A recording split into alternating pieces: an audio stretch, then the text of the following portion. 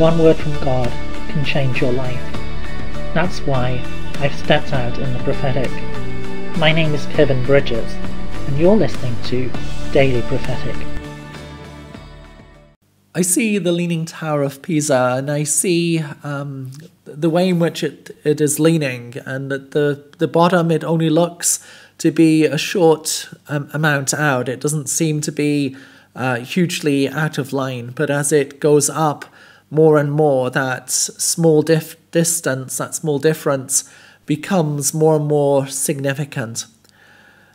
The Lord is reminding me of Amos 7, um, this, this verse that talks about the plumb line of truth.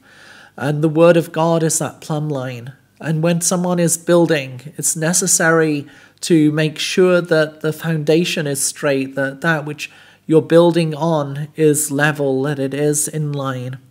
And the Lord says, Bring everything back to my word, bring everything back to me Discern that which you hear and check it against my word.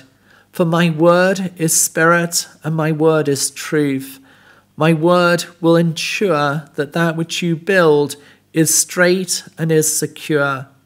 Don't believe the lies of the enemy, but come to me and seek my word, seek my guidance, that that which you build will be safe that that which you build will be secure. For I want to build a tall building in your life. There's much that I will add to you.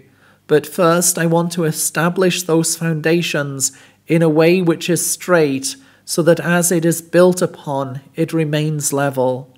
Trust me in this time, for I am establishing my truth in your life. I'm making my truth your home. Trust in me for I am giving you the foundations that are needed, the foundations so that I can build tall and straight in your life. Trust me and allow me to bring alignment, allow me to bring a foundation of truth to you. Would you like a personal prophetic word?